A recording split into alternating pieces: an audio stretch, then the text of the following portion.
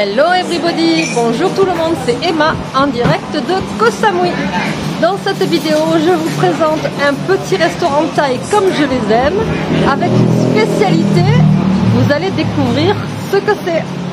C'est parti Aujourd'hui, dans cette vidéo, je vous propose de retrouver mon amie Stéphanie de l'école de cuisine Infusion Cooking Classes. Nous serons également avec un couple d'amis, André et Odile. Alors, quand on est avec des spécialistes de cuisine, c'est plus facile. Et en plus, elle lit le taille, donc c'est pratique. No rice for them. No rice. They, want uh, uh, euh, าเส้นเหลืองนะครับ เย็นโดนนูเดิล เส้น นะ เหลือง โอเค พริกไทย กับผัดพริกไทยดำวิดอ่า pat กะเพรา ผัดกะเพราเส้น Pas de spaghetti, pas de capra. วิดหมู Chai- mai- mai chai mou, mais mai- mai sai mou. ไม่ใส่หมู ไม่ จัดโอน So, okay? นูเดิลวิดวิจิทิโบนะ Chai ka. And for you, yes. on, on l'a fait devenir chèvre le patron parce qu'en fait on a changé complètement la, commande. Alors et pour cause, ben, quand Stéphanie nous a dit il y a ça, ça, ça qui est sympa, ben, on l'écoute bien sûr. Alors on est venu ici pour déguster des cuisses de grenouille. Et oui, il n'y a pas que les Français qui mangent les cuisses de grenouille. Alors elles existent frites à l'ail ou également les pâtes caprao, c'est-à-dire sautées avec du basilic thaï. Vous allez voir ça. Pour ceux qui ne connaissent pas le goût de la grenouille, eh ben, ça ressemble un peu à de la volaille, c'est très fin. Alors on est où Stéphanie ici? Raconte-nous ce, ce restaurant là. On est à Luca Kitchen dans le quartier de Ménam à côté du, euh, du marché du matin. Euh, c'est un restaurant euh, qui est situé sur la route, sur la route principale. Donc à première vue, comme ça, on pourrait se dire mais ça paye pas de mine, on est à côté de la route. Mais vous voyez quand on se met au fond du restaurant, quand on est là, bah, il n'y a pas de bruit, on est bien. On est Les propriétaires sont très sympathiques et en plus c'est une cuisine ouverte. Et la cuisine ouverte c'est bien, on les voit cuisiner. C'est un restaurant qui est fréquenté par des Thaïs, beaucoup à leur déjeuner. Euh, puis aussi par des occidentaux, mais euh, c'est un restaurant très apprécié. Alors, on est venu ici pour manger quelque chose de spécial, des cuisses de grenouille. Et oui, parce qu'on est des Français, donc euh, les cuisses de grenouille, c'est important, n'est-ce pas? Alors, euh, il y a toute une page spéciale pour les cuisses de grenouille. Donc, je vous montre. Les cuisses de grenouille, on dit frog, on dit cop. Cop. En thaï c'est comment Cop? Cop. Cop. Ouais. C'est les cuisses de grenouille. Et donc, ici, ils les proposent de différentes manières. Alors, ils sont celles qui sont euh, à l'ail, là. Euh, et en fait, elles sont frites avec le tout petit taille taille. Euh, tout petit, là, qui est super bon, doux, en fait, et pas fort. Et ils mettent des feuilles de kaffir avec. Tout ça, c'est c'est croustillant. La viande est dorée et euh, c'est vraiment très bon. Euh, sinon, euh, moi là, j'ai essayé en, façon salade, mais j'avais pas encore essayé, donc on va voir. Et ils le font aussi façon pâte caplao, c'est-à-dire ça va être sauté avec le basilic sacré, donc ça c'est intéressant. Voilà.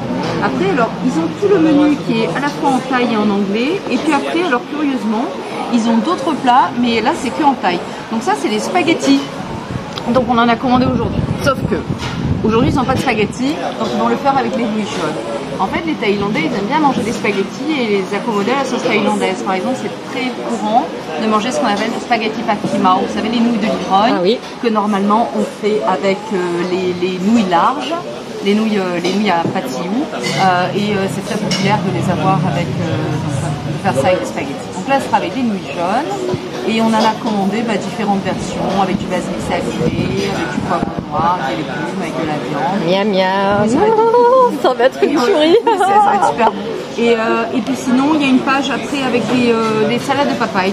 Et alors c'est rigolo, c'est écrit à la main et en taille, ce- cette partie-là. Donc il y a des salades de papaye bah, aux, aux œufs salés par exemple. Alors il y en a quoi, je sais plus, parce que la dernière fois je l'ai pris aux œufs salés, mais je vais pas regarder est-ce que... euh, ah oui, il y en a au crave à carapace molle aussi. Ah oui. Euh, voilà, ça c'est intéressant parce que par exemple, Pony, euh, le crave à carapace molle, il n'y en, a pas- il y en a pas partout. Ah non. Euh, et puis c'est pas tout, par tout le monde qui sait bien cuisiner euh, d'ailleurs. Après il y en a au gambas fraîches, au poulet, qu'est-ce qu'il y a encore? Ah oui, aux œufs salés. D'accord. Voilà, c'est original et puis euh, c'est un lieu qui est pas, pas très cher. C'est, dans une gamme de prix raisonnable. Là, par exemple, le spaghetti c'est 80 bahts. Ouais, c'est vraiment pas cher. Les, les places sont à 150 bahts, c'est vraiment Ouais. très très Et accessible. là, pour les spaghettis, je précise, c'est à 80 bahts, mais c'est un plat complet quand même, hein, parce que Oui. c'est un plat qui vient avec de la viande, etc., euh, des nouilles, euh, donc euh, on peut ne manger que ça. Là, on les a pris en accompagnement. Bon, voilà. C'est un petit lieu qui change, des endroits touristiques. Euh, et on mange bien. Super. On, va, on est avec la meilleure pour nous parler cuisine. Ah oui, ça, vous savez que quand vous avez des questions sur les cuisines, C'est Stéphanie. toujours, euh, Infusion Cooking Classes. Infusion Cooking Classes. Merci. Salut, les amis. Alors j'en profite pour vous présenter André et Odile, ou plutôt Odile et André, euh, qui sont d'heureux retraités en vacances à Koh Samui pour, tenez-vous bien, au moins trois mois. Voilà, on en profite parfaitement. Ils ont trouvé un petit bungalow il y a quelques années, ils redemandent le même systématiquement. Il n'y a pas besoin de clé de toute façon en Thaïlande, donc euh, vous, êtes chez vous. Ils ont leurs deux scooters, ils vont se balader tout le temps et ils adorent manger. Et, et pas seulement. André est spécialiste de la pétanque. Un peu, Tu vas jouer avec les tailles, c'est ça? Tout à fait. On va faire des concours avec les tailles, euh, souvent le dimanche. Ouais. Et on est très bien accueillis, nous servent à manger. Génial. Et tu gagnes? Ça. Ah, parce Mais qu'ils sont très bons. Ils sont très bons, hein, ils sont réputés pour ça. Très bien. Et la spécialité d'Odile, c'est quoi? La plage, La plage, la sieste, la fieste, oui, euh, jouer un peu du ukulélé. ukulélé. J'apprends, oui, oui, D'accord. oui. Voilà. C'est des maillots de bain. Acheter des maillots de bain au Bogada D'accord. Bon. et du snorkeling. Et le snorkeling, masque et tuba. หมู for you and กะเพราผัก for you ใช่ครับ เผ็ดน้อยทั้งสองครับ ใช่ครับ โอเค เผ็ดน้อยได้ and เอ่อกบทอดกระเทียม ใช่ and กบผัดกะเพรา กับผัดกะเพราใช่ ใช่ครับ ใช่ and เส้นเหลืองผัดพริกไทยด ใช่ ำหมู โอเค Des marques. น้ำขวดใหญ่มีไม่เย็นเอาน้ำแข็งได้ไหมครับ ใช่ไม่เป็นไร เบียร์แล้วครับ Elle a commandé une grande bouteille d'eau euh, qui n'est pas fraîche avec des glaçons. Yeah, ça va mieux, hein วันช้างสมองครับ โอเค Super. Merci de partager ce repas avec nous et maintenant je vais montrer un petit peu la cuisine. Ici, on a la chance d'avoir une cuisine ouverte et j'ai demandé également au patron s'il était d'accord pour que je passe derrière pour être plus proche de la cuisine. Voilà, comme ça on va voir directement dans la casserole comment ça se passe.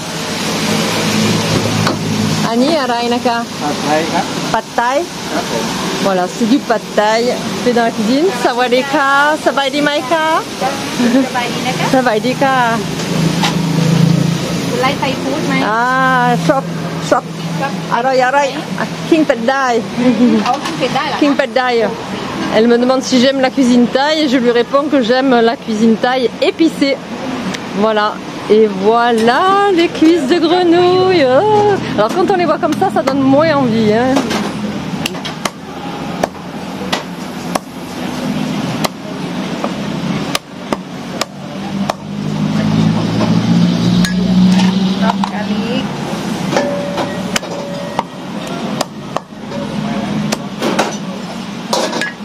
Mais une fois frites, on va se régaler.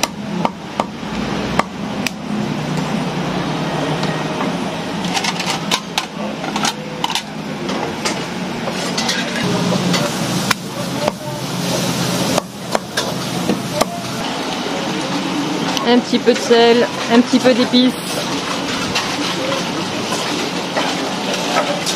On mélange tout ça dans une casserole. Pendant ce temps, les cuisses de grenouilles sont mises à frire.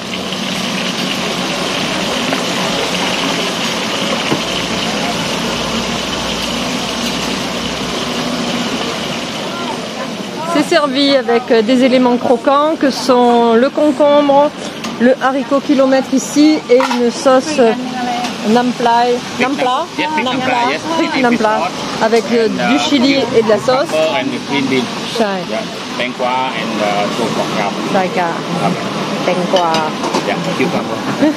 Tengkwa c'est comme ça qu'on dit euh, concombre.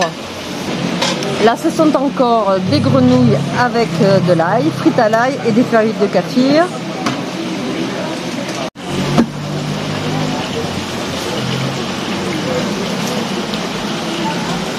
Voilà, on rassemble les grenouilles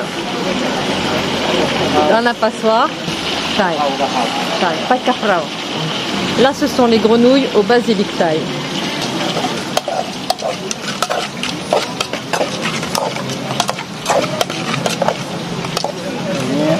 Yam cop Yam.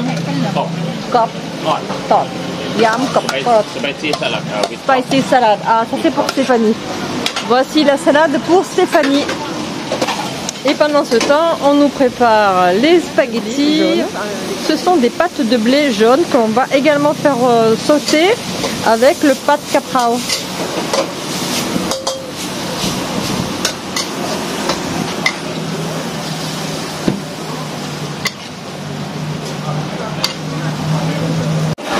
Voilà, on va faire euh, revenir, mais vraiment quelques secondes à feu très très fort, du piment, on ajoute du poivre. Il y a du poivre vert également, je vois. C'est un peu comme les nouilles de l'ivrogne. Pepper. Pour Stéphanie. Oui, sport. Ok. Allez, la dernière euh, cuisson, ce sera les nouilles jaunes. Papao.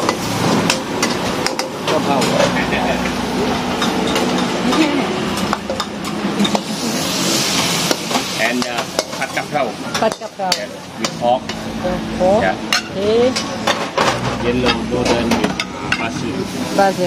ça, c'est un délice. Tout ce qu'on va manger, ça va être super bon d'ailleurs.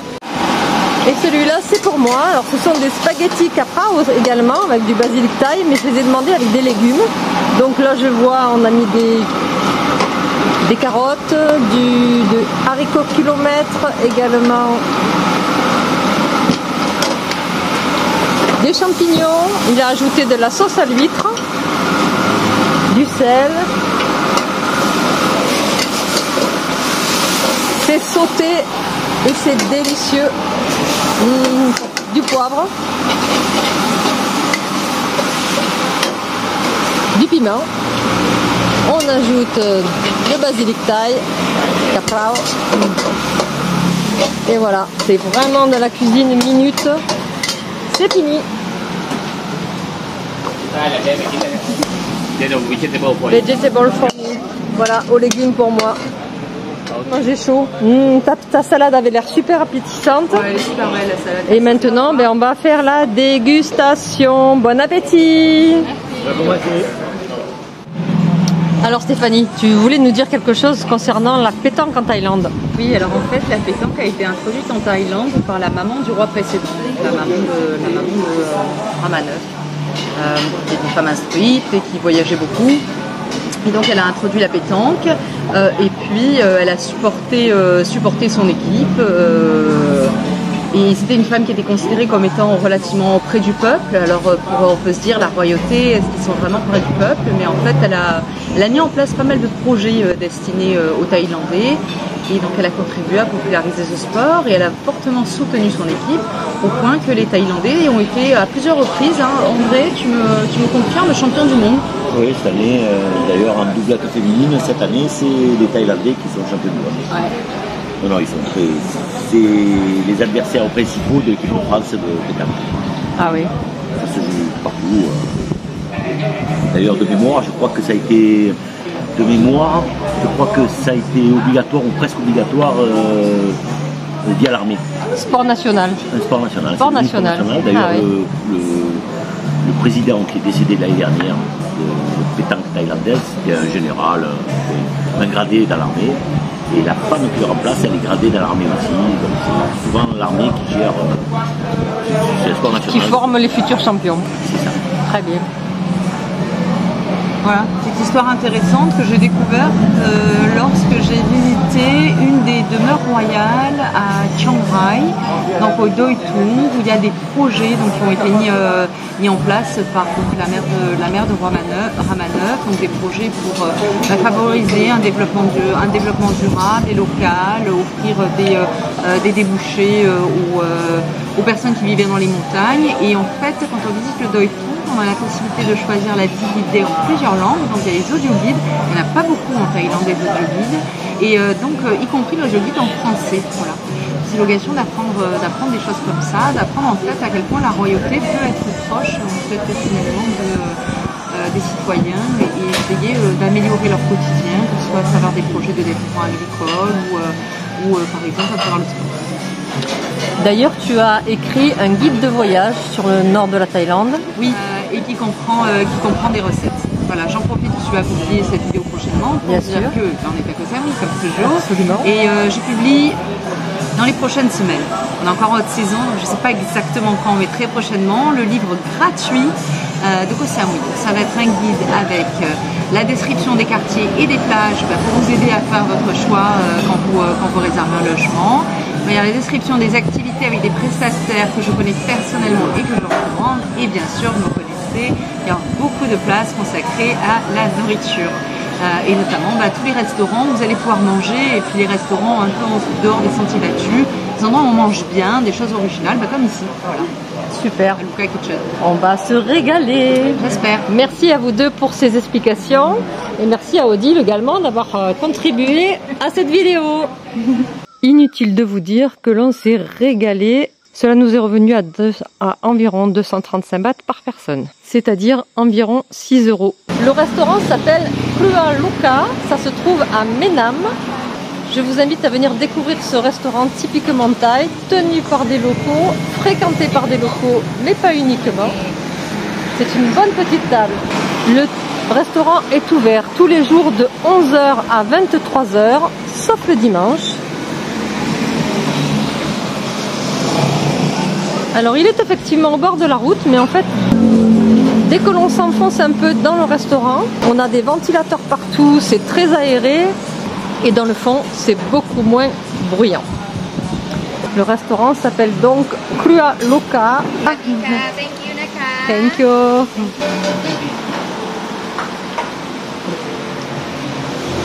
vous avez aimé cette vidéo, je vous remercie pour vos encouragements, je vous remercie pour vos likes et je vous dis à bientôt.